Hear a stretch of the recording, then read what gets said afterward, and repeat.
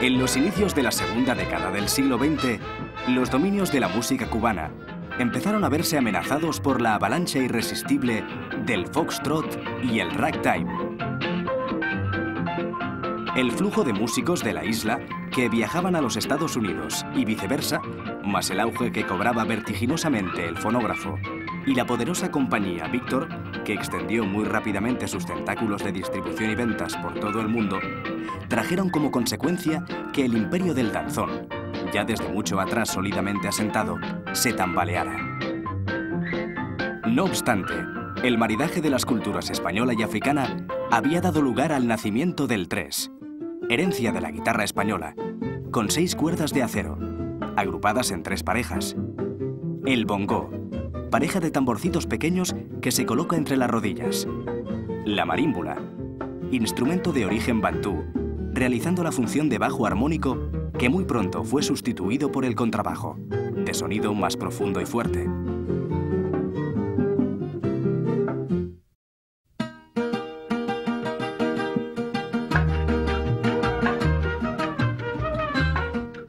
La fecha de nacimiento del son se sitúa en una franja en el tiempo y la geografía. Durante el siglo XIX, en la región oriental de la isla. El último tercio del siglo sirvió para completar su etapa embrionaria, para darlo a la luz en las dos primeras décadas del siglo XX. Por su estilo de baile y su procedencia humilde, el son tuvo una efímera etapa inicial de rechazo por parte de las clases altas. Pero su contundencia y sabrosura hicieron que muy pronto se instalara en la preferencia de todos. Andando los años 20, había una avalancha de sextetos que tenían gran demanda dentro y fuera de Cuba, yendo a la cabeza El Habanero, que era agrupación de la compañía de discos Víctor. Es entonces que la Columbia, en 1926, propone al dúo de trovadores Bienvenido León y Juan de la Cruz y al guitarrista Alberto Villalón crear un sexteto para hacerle la competencia al ya reconocido Sexteto Habanero. Estos deciden llamar al rumbero y ex contrabajista del Sexteto Occidente, que por entonces ya se había disuelto, Ignacio Piñeiro. Ignacio Piñeiro se puede centrar en una época importante para la música cubana en cuanto al desarrollo de nuevos géneros. Ignacio Piñeiro era rumbero y como rumbero conocía a muchos músicos, a muchos trovadores, a muchas a muchos participantes en este mundo. Cuando María Teresa Vera decidió dejar de cantar y formar un sexteto, lo llamó a él, que era su amigo, y le enseñó a tocar el bajo. Invitó entonces a treseros, guitarristas, bongoceros para hacer un sexteto. El director aparecía ser Miguelito García, que era su segunda voz en aquel momento en el dúo, pero realmente la directora siempre fue ella. Y fue Ignacio Piñeiro quien más la ayudó en el sentido de que era un gran compositor y empezó a componer para aquel sexteto que se llamó Sexteto de Occidente. Después problemas muy personales de tipo ideológico. separaron a María Teresa Vera de la música y ella abandonó el sexteto y abandonó la trova y tuvo que, dejar de trabajar. Ella hizo santo y el santo le salió en el Itá que no podía cantar. Entonces dejó el sexteto. Ya ella había tenido un contrato con una empresa norteamericana haciendo sones. Ya ese sexteto de Occidente había hecho muchos discos. Entonces la empresa llamó de nuevo a Piñeiro para que organizara un sexteto que siguiera esa misma línea de trabajo. Lo nombraron nacional por tener músicos de diferentes regiones del país. Esta primera nómina la integraban además Francisco González, tres y coro, Abelardo Barroso, voz guía del coro y claves, y José Manuel Inciarte, bongo. En ese sexteto nacional estaban además dos trovadores muy importantes, Bienvenido de León y Juan de la Cruz. Juan de la Cruz tenía una voz atenorada, muy fuerte, y el viejo, eh, en aquel momento joven, Bienvenido tenía una voz de barítono preciosa, muy bien impostada, muy bien colocada.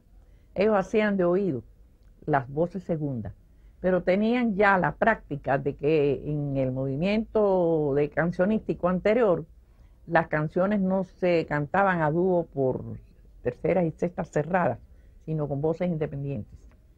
Así que esas dos voces fueron muy buenas para el Sexteto Nacional.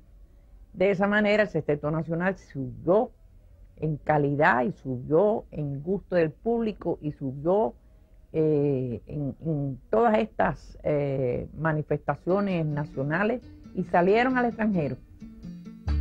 Hasta su disolución por espacio de 23 años, 1935-1958, por problemas económicos, el Septeto Nacional tuvo una actividad relevante como embajador de la más genuina música cubana.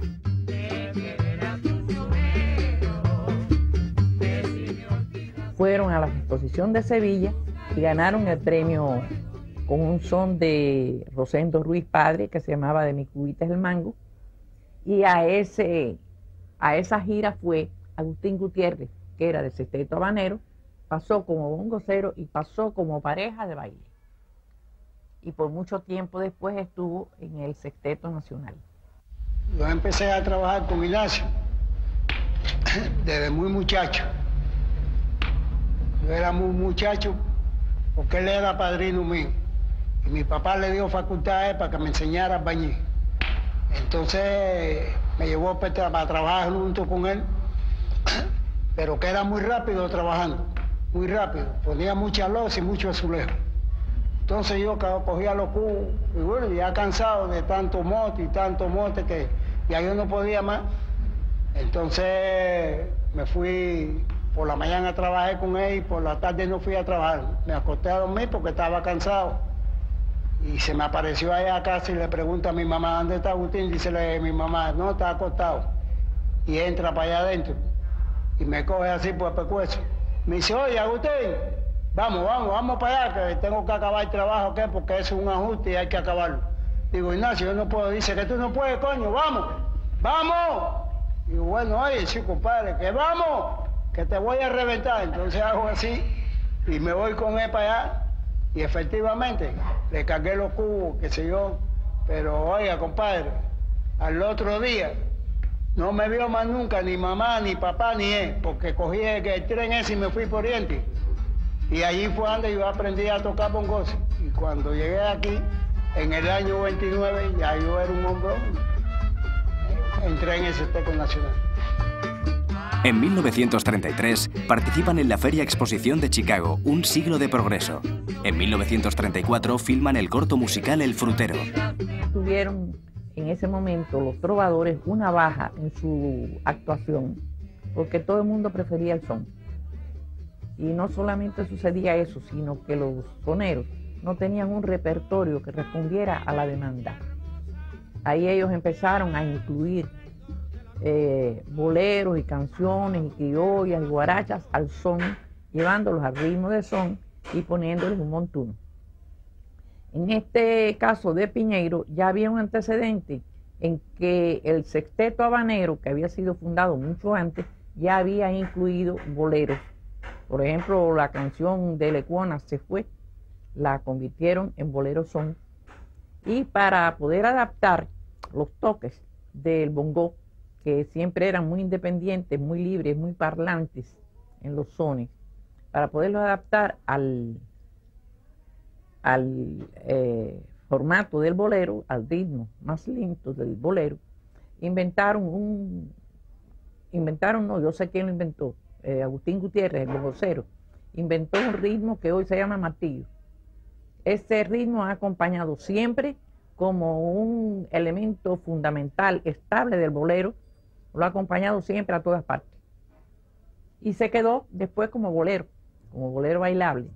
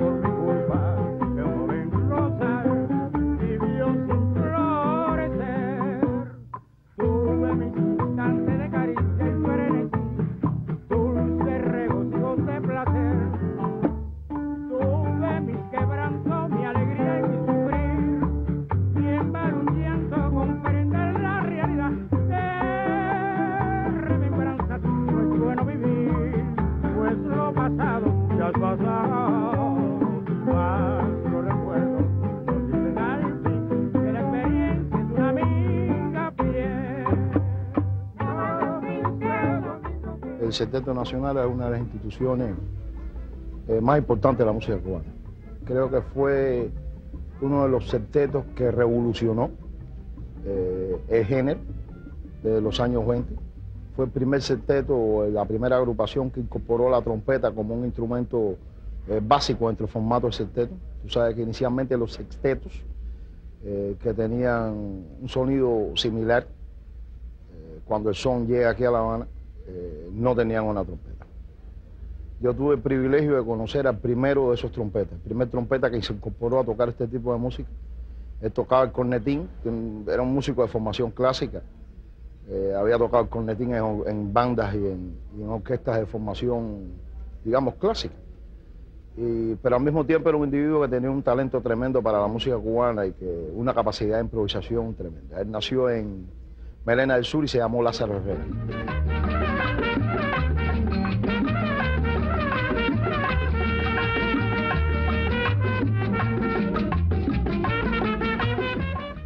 De los músicos también más longevos, un músico de, que llegó a vivir tantos años como los que vivió con Pai Segundo.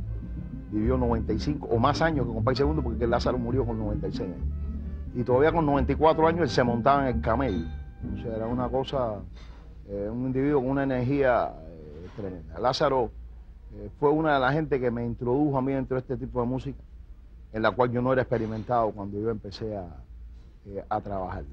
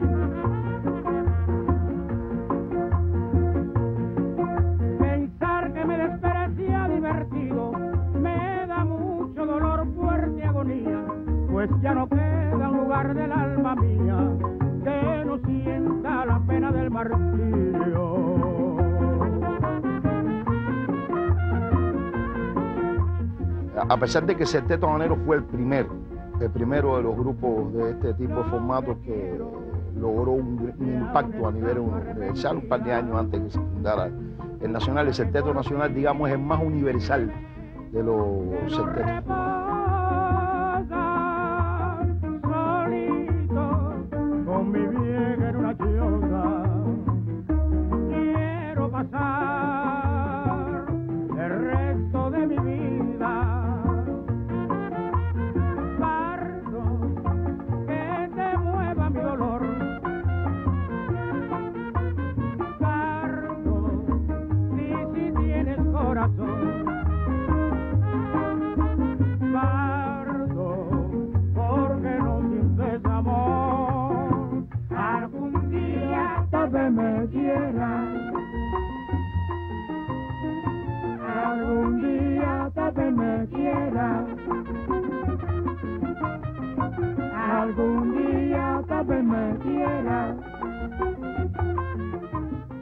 Contrariamente a lo que piensan muchos músicos con formación académica, yo soy un músico con formación académica que pienso un poco distinto que eso. Eh, tocar el son es algo bastante difícil.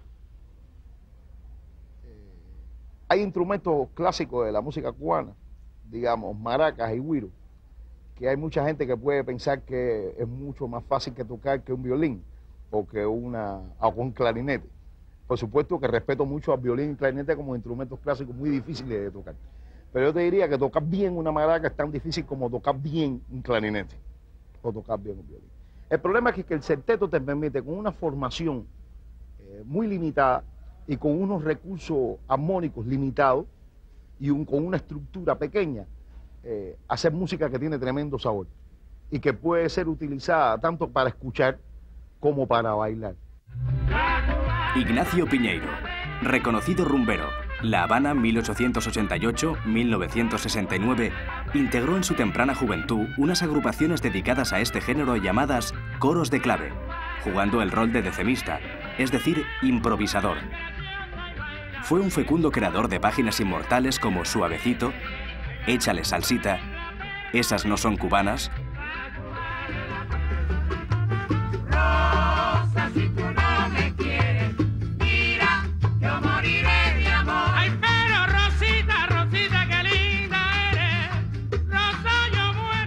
A partir del auge cobrado por el son, se revirtió el avance del foxtrot como género del momento, hasta el punto que George Gershwin, como fruto de sus visitas a La Habana y de su amistad con Piñeiro, tomó la melodía principal del celebérrimo Échale salsita como tema inicial de su obertura cubana.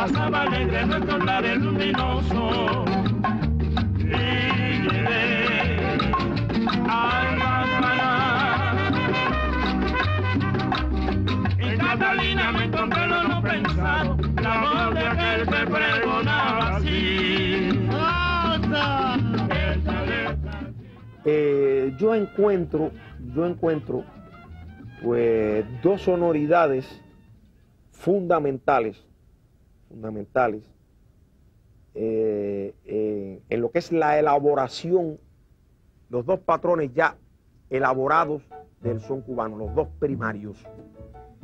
el son de Matamoro, que a mi modo de ver es un son urbano santiaguero no es el son de la loma que se toca el changüí monte adentro o el montuno, no, no, ya Miguel hace una síntesis cuando hablábamos ahorita de que le ponía la segunda voz, que el son de monte no tiene eso.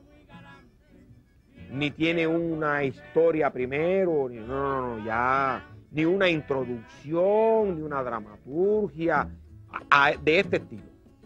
Aquí ya hay una búsqueda, ya hay un refinamiento y un concepto. Y un concepto. También eso mismo hace Ignacio Piñero. Hay una búsqueda, hay una integración de otros elementos y hay un refinamiento también. Pero el resultado final es diferente siendo dos patrones de cubanía tremendos. Este yo creo que de alguna manera pues eh, da pie a lo que sería el son occidental y aquel lo que sería el son santiaguero o lo que sería el son eh, oriental. También Piñeiro supo fundir la gracia con el lirismo recordar las cuatro palomas. Yo tengo cuatro palomas en una fuente redonda, a todas le pongo agua, todas beben su buchito. Por recordar aquello de en la llanura banera, entre tonadas y guines, como lindo, como dulce tomeguines canta la vuelta bajera, hacia Guajirazones. Y entonces, claro, por la por el lugar, por su eh, de, nacimiento, la ciudad de La Habana, el mundo en que él se desarrolló, él conectó a esa música la rumba, que no la conectó, eh, aquel conectó el tumbao anticipado del son de monte. Fue, se, se, eh, se, sustentó más en eso. Este fue más a la rumba, ah, incluso el, el toque abacuá, tuvo otros, otros elementos que fue, eh, que los mezcló. y pienso que la- la- los septetos y la llegada del son a La Habana constituyó uno de los puntos de reafirmación de la identidad eh, nacional. Y el septeto nacional de Ignacio Peñero tuvo un protagonismo. Además que fue un septeto longevo, porque con eh, músicos de muy avanzada edad, todavía el septeto nacional funcionaba en los años 80. ¿Recuerdas el tema de Rafael Ortiz?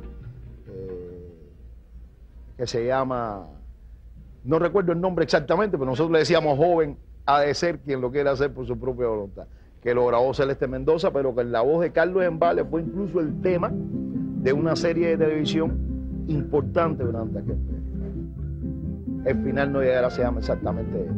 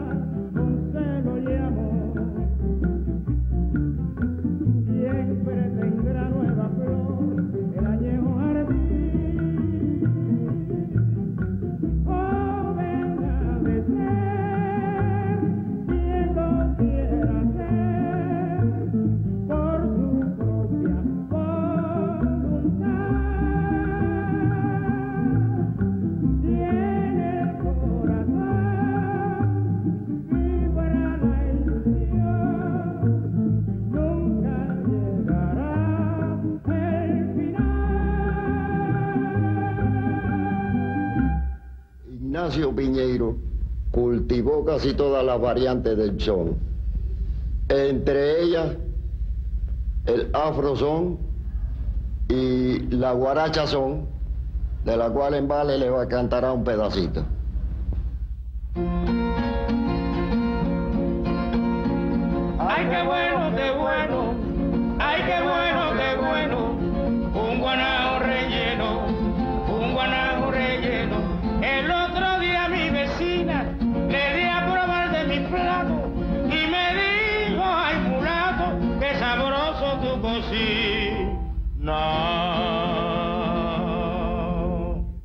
Creo que en Vale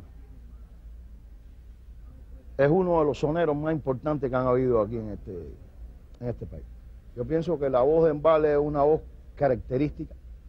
Era un individuo que nunca estudió música, un individuo que no tenía una formación académica como músico. Creo que cada rato Luis Carbonell, por ejemplo, que es uno de los profesores de canto popular más importantes que ha habido en este país, le daba consejos que él no seguía.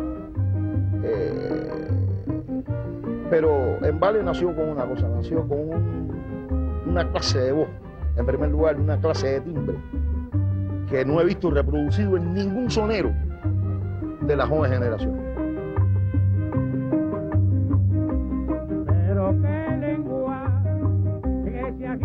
Nacido en 1923, Carlos Embale figuró en ilustres agrupaciones de la música popular como Arcaño y sus maravillas, Orquesta de Neno González, Jóvenes del Cayo, en 1946 fue presentado a Miguel Matamoros por uno de sus entrañables amigos, el joven lajero Bartolomé Moré, el Beni. A partir de entonces y hasta 1953, canta en el conjunto Matamoros.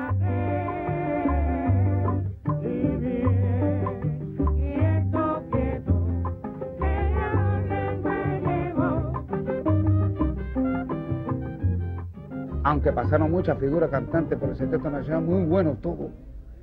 Pero yo con Embale tenía una sección de, de un timbre muy lindo, Carlos Embale.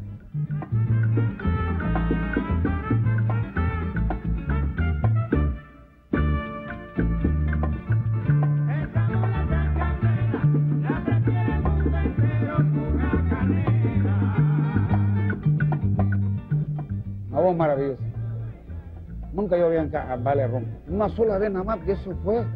Yo no sé ni cómo, pero yo nunca vi en Vale Ron. Siempre el clarín que tenía en era magnífico siempre, vez que hacía así. Y yo lo adoraba, lo quería. Él me decía a mí, no, tienes que montar números. Decía, vale, yo no voy a montar números ninguno. Cantas tú y yo te hago los coros. Me ha gustado oírlo cantar.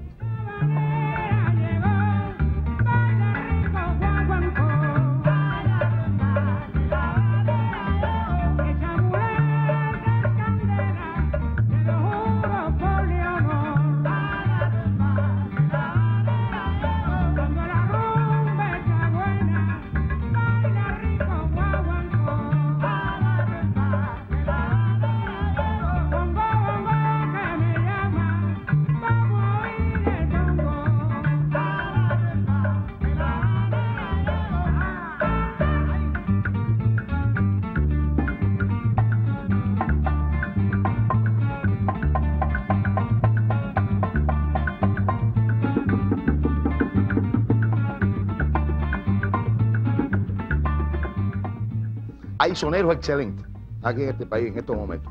Soneros de corte tradicional y soneros de corte contemporáneo, que son excelentes. Pero no he visto lo que el, talento que tenía en Vale para improvisar, o sea, su forma de improvisar emparentada con, con, soneros de la talla de Marchetti, de difunto Abelardo Barroso, de Joséito Núñez, de esos grandes soneros que pasaron por el Centeno Nacional o pasaron por otro eh, Fernando Goyazo.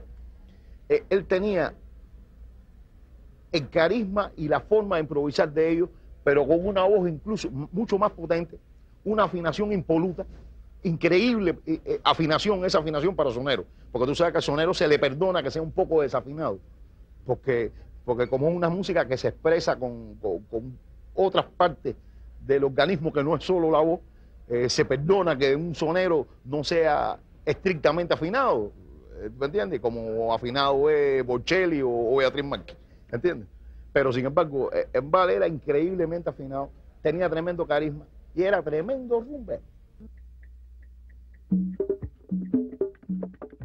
Tan sobresaliente intérprete del son como de la rumba, integró agrupaciones como el Coro Folclórico y la Tanda de Guaracheros, e inclusive fundó y dirigió su propia agrupación rumbera en 1970, conjunto de Guaguancó Carlos Embale, en la que permaneció hasta 1976. Cuando tú, tu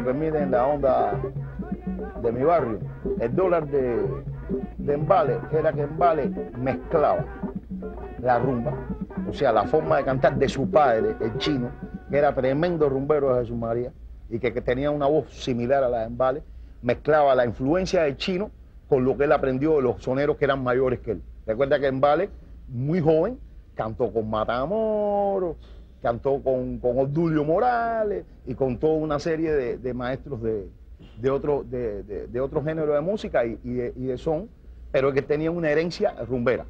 En Vale era un guaguancocero, un, un rumbero tremendo.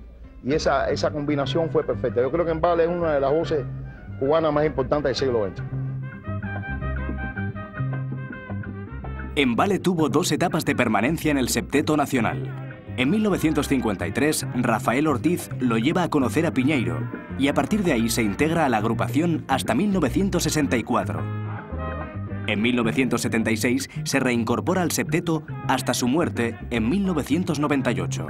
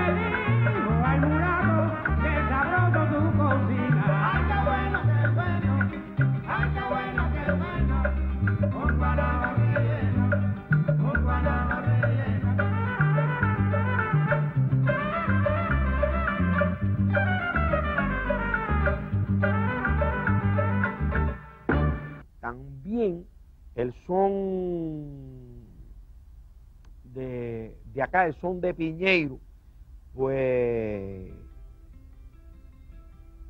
echa mano de, de, por ejemplo, la canción cubana para cantar a dos voces.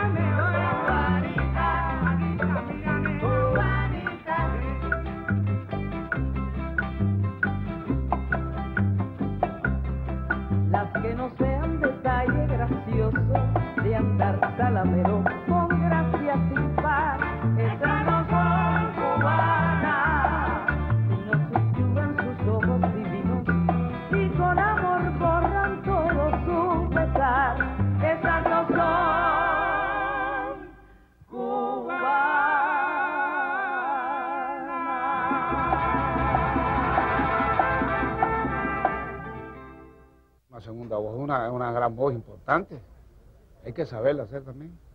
Eso no es que voy a hacer segunda voz, no, hay que saber. Conocimientos naturales que nace con uno, aparte que que estudia sabe hacer una segunda voz. Y la tercera voz, lo, mismo da la tercera que sea la segunda. Y la voz prima es la principal. Pero sin la voz esa,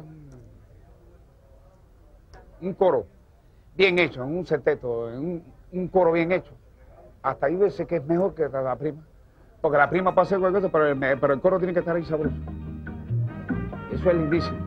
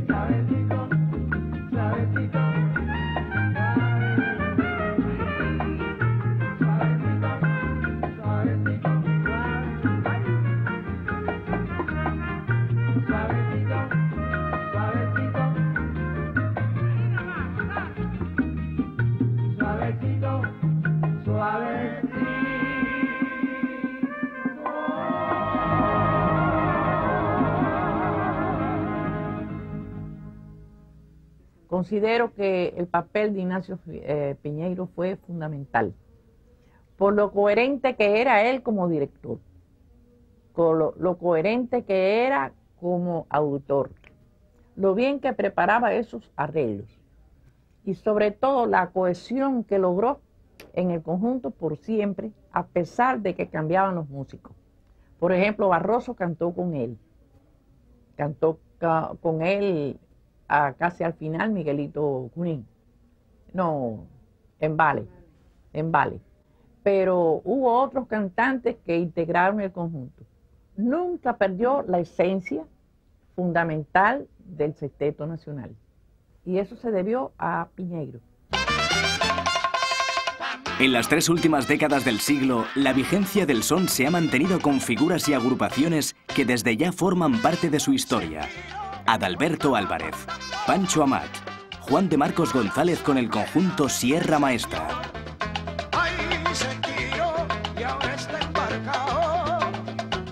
y en la formación de Sierra Maestra, digamos como eh, en la estructuración de Sierra Maestra, cuando nosotros empezamos a, a- a trabajar ese tipo de música, en la cual no estábamos experimentados. Yo había estudiado guitarra, pero yo no tocaba tres.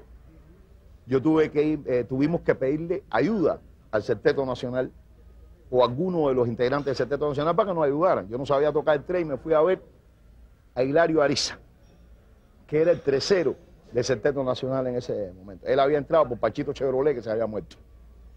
Y entonces Hilario Ariza me dio algunos de los, de los elementos eh, de cómo, cómo se afinaba, cómo afinaba él. Él afina como aquí en el occidente, que afinamos la segunda inversión del Do mayor. Eh, me recomendó también que fuera, él no me dijo mucho, porque Ariza era un viejito muy cascarrabia. Ya estaba viejo cantidad en esa. Me mandó a casa Isaac Oviedo. Isaac me dio algunos de los elementos, me enseñó las tres inversiones básicas de los acordes naturales, de las trías básicas, las tres inversiones de las trías básicas, las dos inversiones y su posición natural de las trías básicas para el tres, son tres posiciones, son tres sonidos, ¿no? Y, de esa forma yo empecé, empezamos. Entonces, mi, trompeta en aquel momento era Jesús Alemán, que ha llegado a ser uno de los mejores trompetas soneros de aquí de este país. Jesús Alemán, con el cual eh, trabajé eh, 17 años en el, en el Sierra Maestra. Y con Alemán se fajó el difunto Lázaro. Conmigo, que era el director y que escribía la música, se fajó Rafael Ortiz. Y entonces esos viejitos, Carlos Embale también eh, veía a los cantantes. Y entonces hubo como una especie de apadrinamiento, si se puede decir, para que nosotros nos envolviéramos en ese tipo. Porque nosotros lo que habíamos hecho hasta ese momento que empezamos con el Septeto Nacional era lo mismo que hacíamos con las bandas de rock and roll. Yo cogía King Crimson y fusilaba completamente el arreglo de punta a cabo, incluyendo los solos. Bueno, eso mismo nosotros hacíamos. Nosotros cogíamos los discos del Septeto Habanero, el Septeto Nacional, cogíamos echarle salsita y yo tocaba el mismo solo de Panchito Chevrolet. Y, tocábamos exactamente el mismo arreglo eh. Esto duró durante todo un periodo, de los primeros tiempos de Sierra Maestra, hasta que Sierra Maestra logró una identidad y empezamos a componer nuestros temas y, y empezamos, a pesar de que siempre tocamos temas clásicos, eh, empezamos a, a lograr un sonido propio.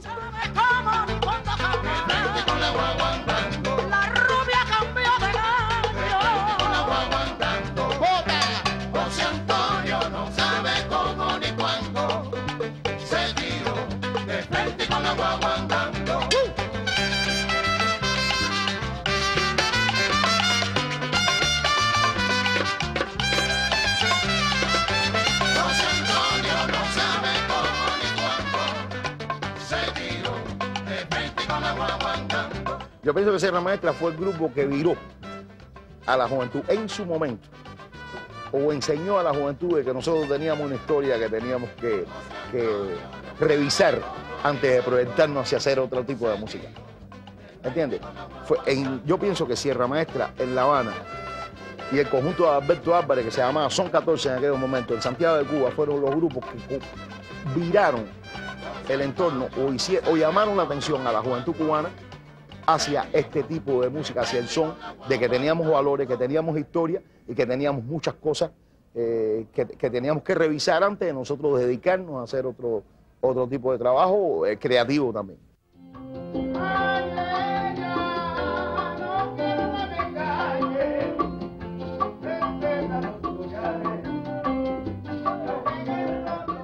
Muy lejos de desaparecer, el Septeto Nacional a la muerte de Embale continúa activo hoy, dirigido por Eugenio Rodríguez el Raspa. Ellos mantienen un repertorio de sones tradicionales, actuales, guarachas y otros ritmos con el empeño de ser fieles al género y honrar la memoria de uno de los más altos nombres de la música popular cubana de todos los tiempos.